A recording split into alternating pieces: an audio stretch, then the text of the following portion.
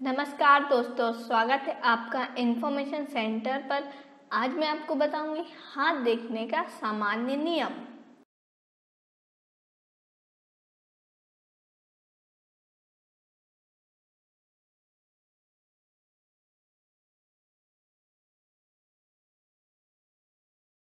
हाथ देखने का सामान्य नियम तथा क्रम। हाथ देखने का सर्वश्रेष्ठ समय प्रातः सूर्योदय से लेकर चार घंटे बाद तक का है।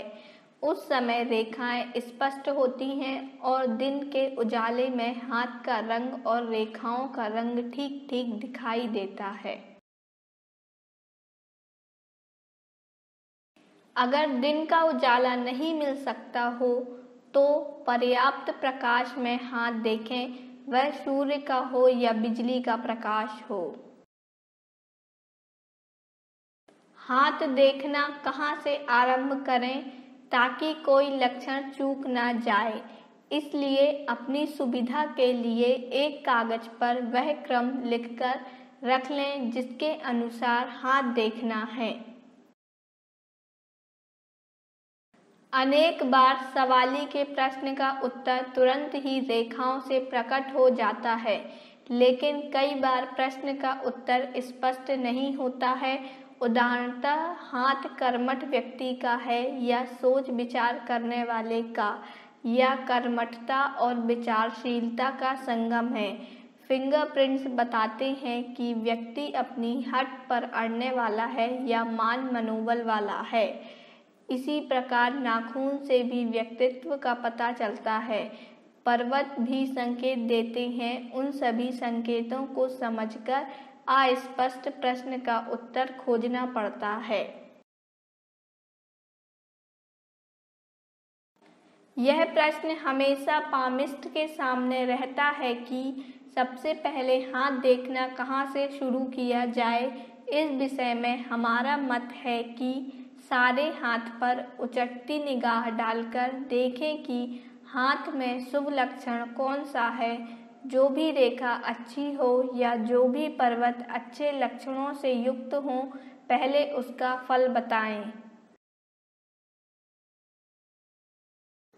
मुख्य तथा माध्यमिक रेखाओं में बीती घटनाएँ सवाली को पता लगे कि हाथ समझ में आ रहा है, यदि दो तीन घटनाएँ बताने पर भी सवाली इनकार करे तो दो कारण हो सकते हैं। या तो हाथ समझ नहीं आया या सवाली झूठ बोल रहा है। दोनों दशाओं में वह हाथ देखना बंद कर देना चाहिए क्योंकि इससे अपशय होता है।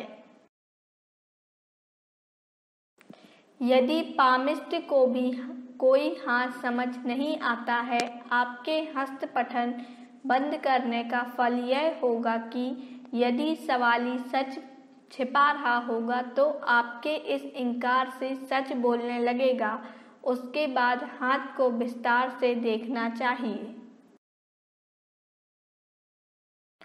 कई हाथों में प्रकटतः कोई शुभ लक्षण नहीं होता कि जिससे बात शुरू की जा सके, किंतु यत्न करने से शुभ लक्षण मिल जाते हैं। उसी पर ज़ोर देकर पामिस्ट सवाली का सबसे पहले फल बताएँ।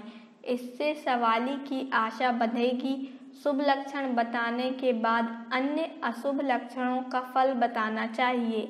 किंतु अशुभ बताते समय उचित शब्दों का चुनाव करें। कड़वी दवाई को मीठा लेप लगाकर या उसे कैप्सूल में रखकर दिया जाता है। यदि एक हाथ में लक्षण अशुभ हैं, दूसरे में शुभ हैं तो शुभ ही बताना चाहिए। यदि दोनों हाथ में अशुभ कह रहे हैं तो अशुभ बात बताते समय यह भी बता देना चाहिए कि अशुभ को शुभ में बदलने के वैज्ञानिक उपाय भी हैं। सवाली को यह अवश्य बताना चाहिए कि रेखाएँ बदलती रहती हैं। यहाँ ध्यान देने वाली बात है फिंगरप्रिंट्स नहीं बदलते हैं। अब आप सवाली से कह सकते हैं कि अब तक हमने आपके हाथ का सामान्य हस्त पठन किया है। यदि आपका कोई विशेष प्रश्न रह गया हो तो पूछ लें। विशेष प्रश्न का उत्तर यदि हाथ पर स्पष्ट ना हो तो हाथ पर नज़र डालकर देखें कि कौन सी रेखा या लक्षण छूट गया है, जिससे सवाली के प्रश्न का उत्तर मिल सकता है स्पष्ट उत्तर के लिए दोनों हाथ देखने चाहिए यदि प्रश्न का उत्तर निराशाजनक हो तो उसे स्पष्ट बताने की बजाय मीठी चाशनी में लपेटकर बताएँ। निराश व्यक्ति में आशा का संचार करना पामिस्ट का कर्तव्य है। यदि कोई सवाली अपना प्रश्न स्पष्ट बताने की बजाय गोलमोल बात करे तो उसे बता दें कि कोई डॉक्टर रोग के पूरे लक्षण समझे बिना दवाई नहीं देता। ठीक से भविष्य पढ़ने के लिए सारी स्थिति को बताना सवाली के अपने लाभ के लिए है। प्रश्न चाहे एक हो या दो, हाथ के पूरे लक्षण देखने से सही उत्तर मिलता है। यदि उसका प्रश्न व्यापार और रोज़गार के विषय में है तो साथ ही यह भी पूछें कि उसके सामने सुझाव या प्रस्ताव क्या है। उन्हीं सुझावों और साधनों की सीमा में उत्तर देना हितकर है। यदि आप वैज्ञानिक पामिस्ट्री के अनुसार हाथ देखना चाहते हैं तो आपका व्यवहार एक डॉक्टर जैसा, एक मनोवैज्ञानिक जैसा होना चाहिए। कोई भी डॉक्टर अपने रोगी का रोग समझने के लिए उसकी पूरी हकीकत सुनता है फिर दवाई सुझाता है। ज़रूरत पड़ती है तो blood test, urine test, X ray आदि देखता है। जो पामिस्ट के पास आता है, उसे कोई परेशानी होती है, उसका इलाज पामिस्ट को करना है। किंतु वह पामिस्ट के पास आकर पहेली की तरह सब कुछ बुझवाना चाहता है।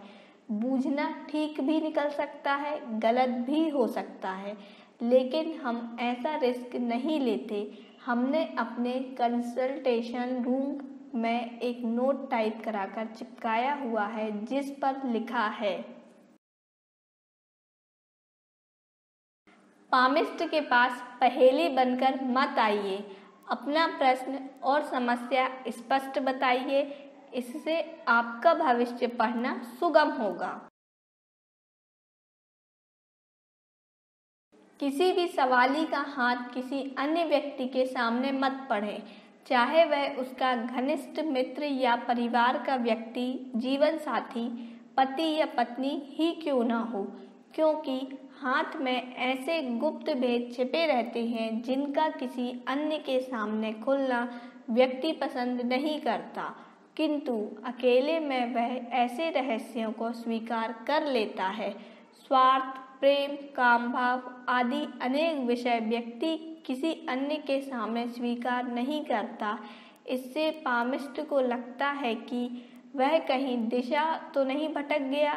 इसलिए सवाली और पामिस्ट दोनों के लिए अच्छा है कि हस्त पठन के समय तीसरा व्यक्ति उपस्थित ना हो।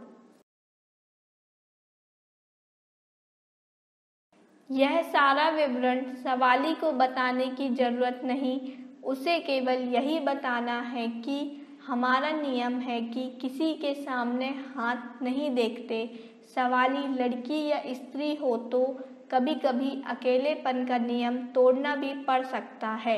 ऐसी दशा में किसी अन्य की मौजूदगी में उतना ही बताएँ जितना सवाली स्वीकार कर सके। पर्वत आदि हाथ के लक्षणों को देखने से प्रवृत्ति का पता चलता है। उनमें सवाली की रुचि नहीं होती, कोई सवाली यह जानने नहीं आता कि उसमें काम भाव की कितनी मात्रा है या उसमें अहम भाव की मात्रा कम है या अधिक है, अथवा उसकी चतुरता धोखे की सीमा को छू रही है या उचित अनुचित पर आधारित है, इत्यादि। यह सारी जानकारी पामिस्ट के अपने समझने के लिए सवाली के प्रश्नों का उत्तर देते समय यह जानकारी पामिस्ट के काम में आती है। अन्यथा सवाली तो अपने प्रश्न का दो टूक उत्तर चाहता है।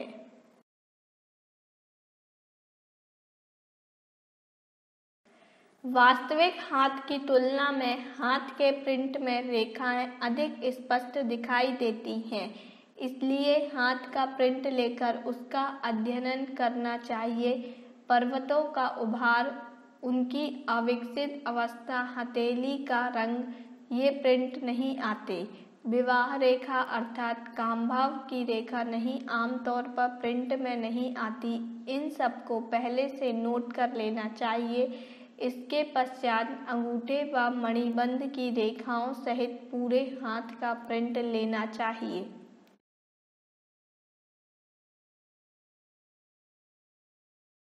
हमारे इस वीडियो को एंड तक देखने के लिए आपका बहुत बहुत धन्यवाद।